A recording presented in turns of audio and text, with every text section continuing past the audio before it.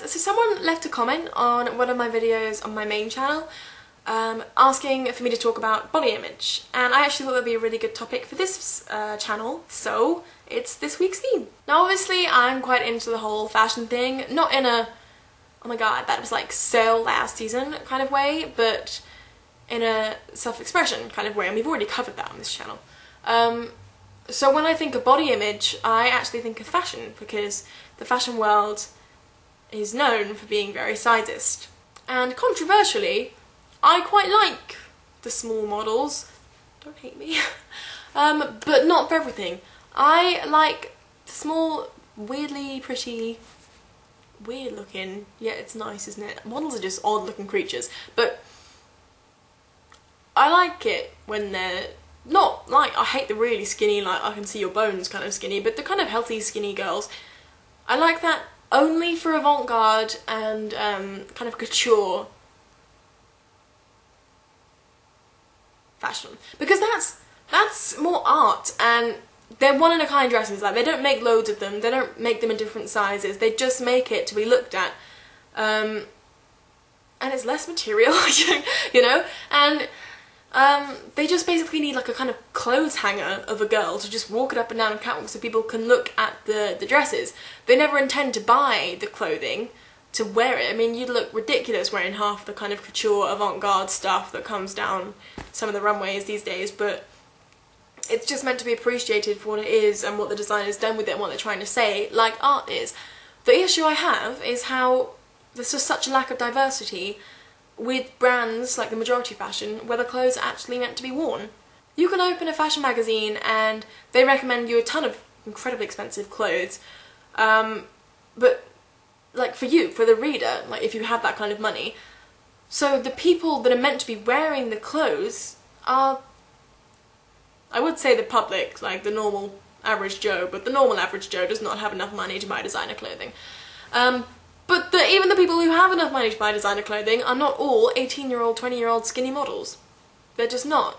They're most of the time older because they have more money and they're real women or real men and the designers make their clothes in sizes that do cater for that. So it just seems almost just stupid that they wouldn't involve bigger models because it's like saying that their clothes only look good on really skinny models. If you're making the clothes in bigger sizes, why not show that? Why not show a woman what she would look like in the clothes that you're trying to sell her, you know? But I use the term diverse rather than just like size because I also really don't like the way that fashion is only geared towards young people, like youth, or you know the majority of it is only geared towards youth and actually new fashion that's coming out like new fresher younger designers are actually involving a lot more uh, like older models which I think is great because fa like fashion just doesn't stop the second you get a wrinkle it's, it carries on and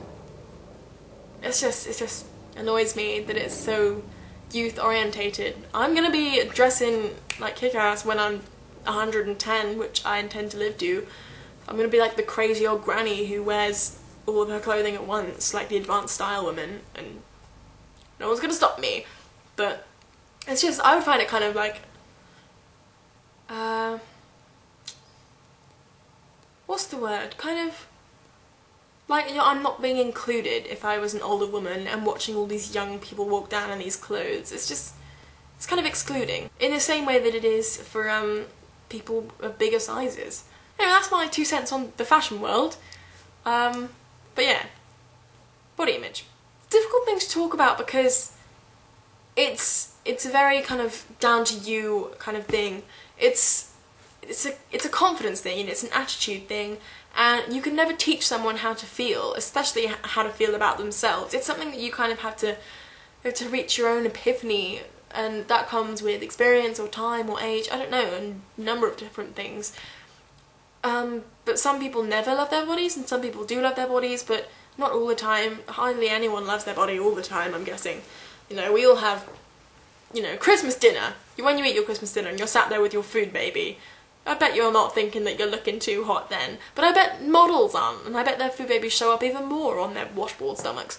So you know, no one feels great about their bodies all the time. But we should feel comfortable about ourselves most of the time. when people ask me how I have the confidence to wear whatever I want out and about, I just tell them that I kind of adopt a fuck you attitude. So if I like what I'm wearing and I think it looks good and, you know, I'm happy with it, then I'm quite happy to walk out the door and just be like, fuck you to anyone who thinks different because they're not wearing it, I am.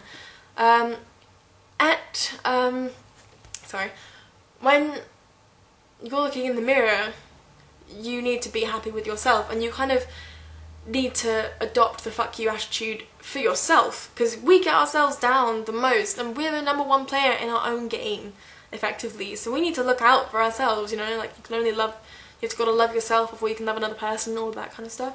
Um, so yeah I think you need to adopt the kind of fuck you attitude to yourself. Because there'll be times because I love food just full stop I love food. I love food from all different cultures and I just I'm a, I'm a foodie, basically. I love food. Um, and there will be times when I've eaten a lot of food or whatever, or a lot of food which isn't too great for me, and I'll be there like feeling really bad about myself and beating myself up, and it's just like, fuck you, Jess, stop it. Feel good about yourself. Like, even though you did eat a huge meal, it was good. And I enjoyed it, and I enjoyed the conversation, and I enjoyed, you know, the, the taste of it. Well, I don't know. It's Just, you just need to shake yourself or slap yourself a couple of times every now and again and not get too carried away with your own kind of self-loathing that you can have. Because body image isn't everything. It's sadly in this world quite important and especially in different industries. I mean, I want to go into acting, so body image is important. But not important to the, you know, but people get carried away. It's like, it's like in the acting industry, women getting Botox and boob jobs and nose jobs and it's just like stop it. Feel confident in yourself. Like you're you are you. You're never gonna be someone else. Stop tra like changing yourself. I mean, you should aim for healthy. You should be healthy. But it is it's just a confidence thing and it's it's an attitude and I can't tell you how to how to like yourself more, but you should. We should all love ourselves because we're all humans and we're all different and unique and that's the point. And that's what's so good about the world and that's what's so good about humans, that we are all different and unique. In size, shape, age, everything. Right, so that's basically it, I think. Um, I'm really excited to see what everyone else has to say for this. I don't know, I kind of spoke about fashion for quite a lot of it. Uh, oh, I'm really excited to have the new people on the channel. Welcome, loved your video, it was good. So, I will see you next week. Bye.